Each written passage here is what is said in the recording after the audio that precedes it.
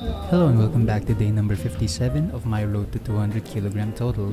Now for this week, I am taking a very much deserved deload week. Uh, after the grueling three weeks prior of training, especially with the back squats, the quadruple, the quadruples and the triples, it pretty much wrecked me to my core.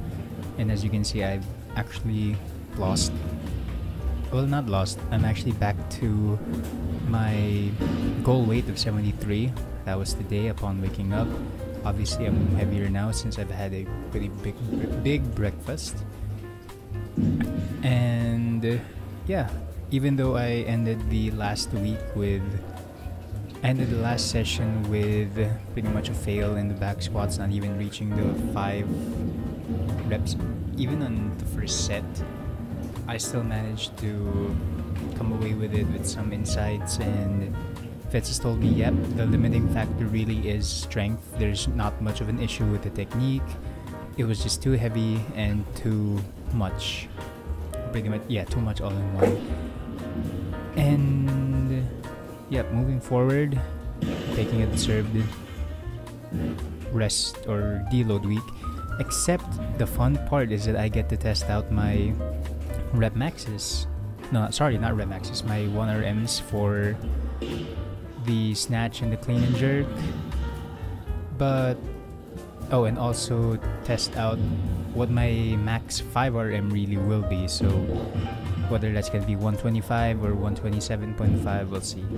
Or who knows? Maybe, or who knows? Maybe I'll be able to do 130 again if it's if I know that it's just for a single set. Uh, as you saw earlier with my banded activation, I'm to fix the well, not really fix, but to help with the drive of the jerk because you all saw that my feet aren't the mo- my ankle ankles aren't the most uh, what do you call that? Aren't the most stable especially during the drive of the jerk. It my right foot especially the front foot of the jerk is really egregious in how where it wants to go during the during the drive. So you saw that I did some bad in the drive full drive. So that was hip hip knee and ankle triple extension and really focusing on really finishing the drive basically right. And now i'm also focusing a lot on planting the feet and being planting the feet during the catch of the jerk uh sorry the catch of the snatch and the clean. So you'll see it here. Boom. Yeah. This is actually also helping me with the pull under. Basically a lot of my a lot of the training that Fitz has put me through base showed me what I needed to work on the most. So that was the pull under for the snatch and the clean and jerk and oh sorry the pull under for the snatch and the clean as well as more aggressive feet or planting of the feet. And you guys saw that in my 105 kilo clean and jerk.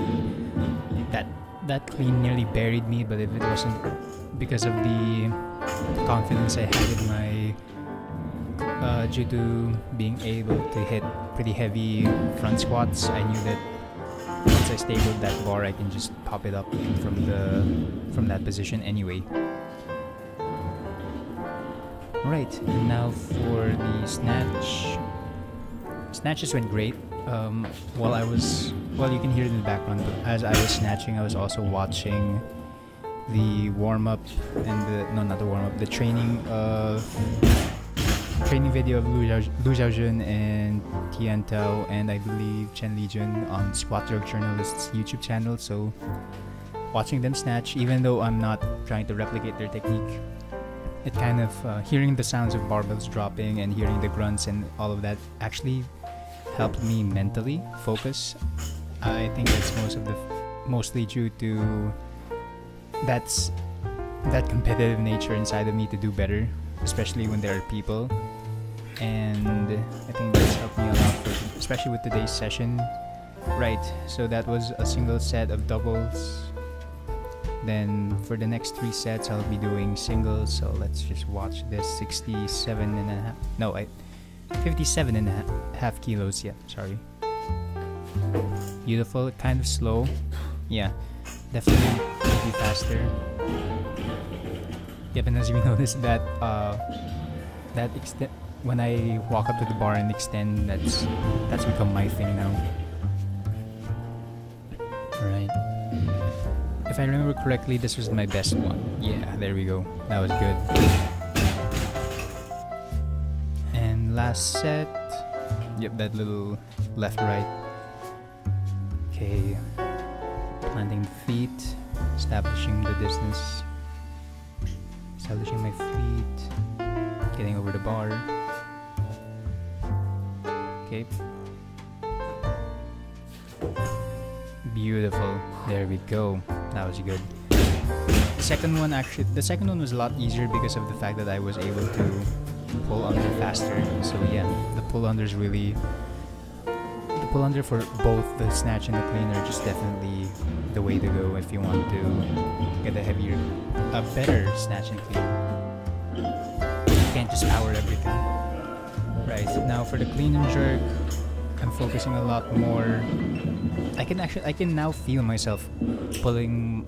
I can now feel myself pulling under the bar when I'm doing during the catch portion of the clean, which is amazing. I never thought I'd be able to do that.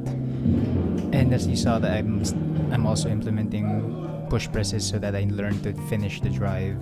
So here's the first set at 67 and a half. Again, these are this is deload. Uh, slight jump, a little higher than what I wanted. Feet. Oh, I forgot that I needed to. I needed a better foot positioning because I noticed in my. If you've ever watched Clarence, uh, Clarence Kennedy, his older videos on how he clean and jerked where his toes just went out instead of pointing in. Yeah, that's also my problem, so I'm also fixing that. Better clean. Pop off the chest. Beautiful jerk. Now that's a good position. Feet pointed in, back back knee bent. Alright, now last set.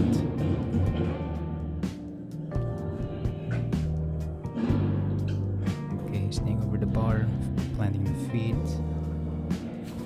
Boom. Good, beautiful.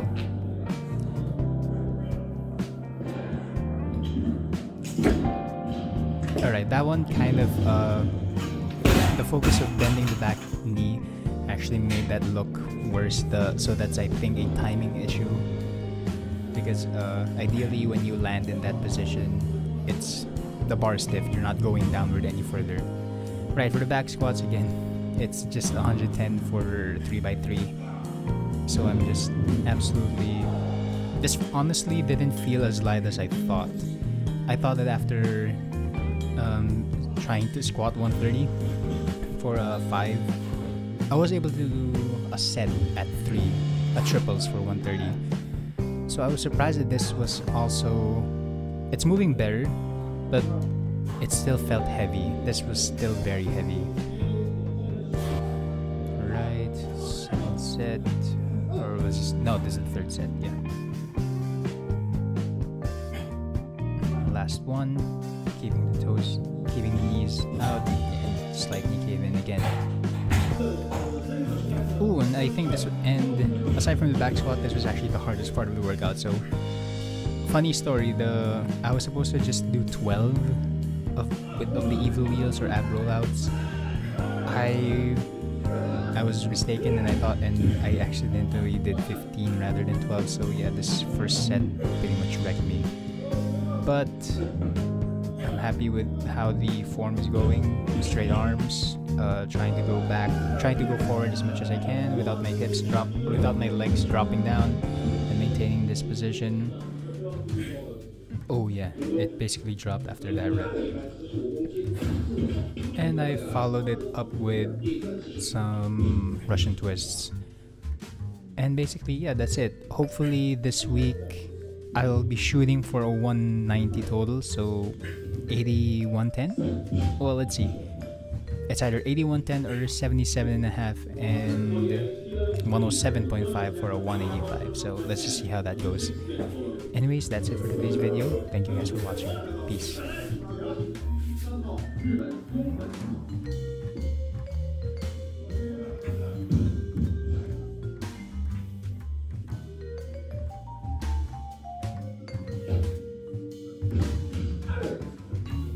Yeah.